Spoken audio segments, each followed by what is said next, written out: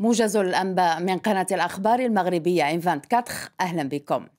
أجرى وزير الشؤون الخارجية والتعاون الإفريقي والمغاربة المقيمين بالخارج ناصر بوريطا اليوم الجمعة بالرباط مباحثات مع المدير العام للمنظمة العربية للتربية والثقافة والعلوم محمد ولد عمر.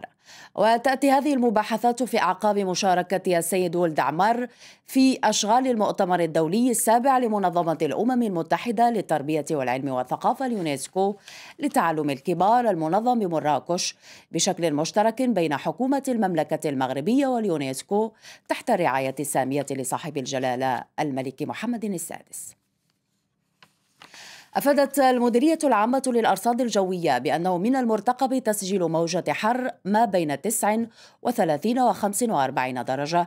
اليوم الجمعة وغدا السبت بعدد من مناطق المملكة. وأوضحت المديرية في نشرة إنذارية من مستوى يقظة برتقالي أنه سيتم اليوم الجمعة تسجيل درجة حرارة تتراوح ما بين 39 و 45 درجة بكل من قرسيف وتونات ووزان وفاس ومولى يعقوب وخريبكا والفقه بن صالح وبني ملال وقلعة سرغنة وترودانت ووجدة وطاطا وزقورة والراشدية وأسزاك وسمارة وأسرد ووادي الذهب.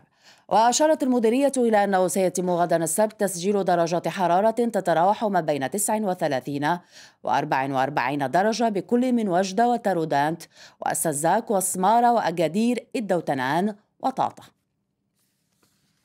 بالرباط جرى توشيح رئيس الجامعة الأورو متوسطية بفاس السيد مصطفى بوسمينة بوسام صليب الاستحقاق المدني من درجة قائد بالمملكة الإسبانية اعترافا بعمله المتميز وانخراطه في تعزيز التعاون الجامعي بين البلدين.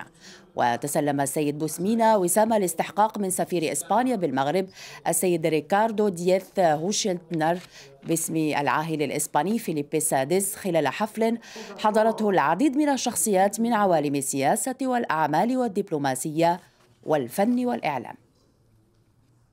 بمدينة الداخلة أجرى وفد من المجلس الوطني للمقاولة الخاصة في بنما سلسلة لقاءات مع السلطات المحلية ووقف على حجم المجهودات التي تقوم بها المملكة على مستوى التنمية والأوراش الكبرى التي تم إطلاقها في هذه الجهة.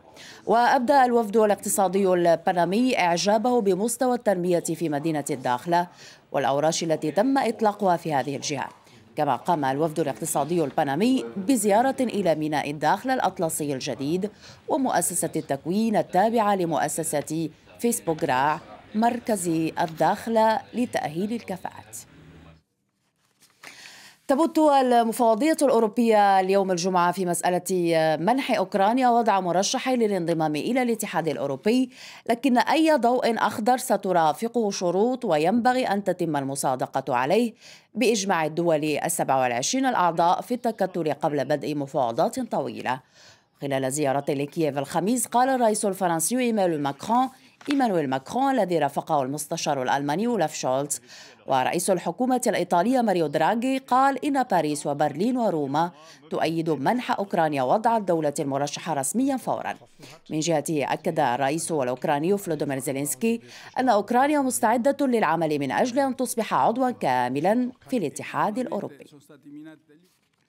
دعت منظمة الصحة العالمية اليوم الجمعة بلدان العالم كافة إلى زيادة استثماراتها في مجال الصحة النفسية مؤكدة أن المعاناة هائلة على هذا الصعيد وقد تفاقمت بفعل جائحة كوفيد 19 وحتى قبل بدء الجائحة كان حوالي مليار شخص في العالم يعانون نوعا من الاضطرابات النفسية وفق ما أعلنت الوكالة التابعة للأمم المتحدة في دراسة هي الأوسع لها بشأن الصحة الذهنية حول العالم استغرق إعدادها عقدين من الزمن.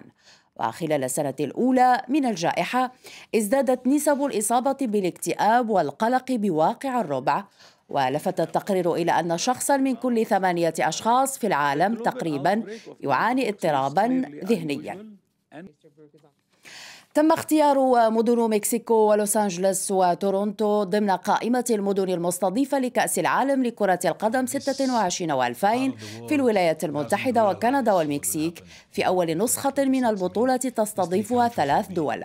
وأعلن الاتحاد الدولي لكرة القدم الفيفا عن قائمة مكونة من 16 مدينة من بين 11 مدينة في الولايات المتحدة وثلاث مدن في المكسيك ومدينتان في كندا خلال حدث خاص في نيويورك. وتستضيف المكسيك التي سبق أن نظمت كأس العالم في سنتي 70 900 وألف و 86 900 وألف. المباريات في مدن مكسيكو ومونتيري فيما تستضيف كندا التي تنظم كأس العالم لأول مرة. مباريات في فونكفورت وتورونتو. نهاية هذا الموجز مشاهدينا تفاصيل أوفى عن أخبار المغرب والعالم. تجدونها كالعادة على موقعنا الإلكتروني m24tv.ma أطيب التحايا لكم ونهاية أسبوع موفقة. إلى اللقاء.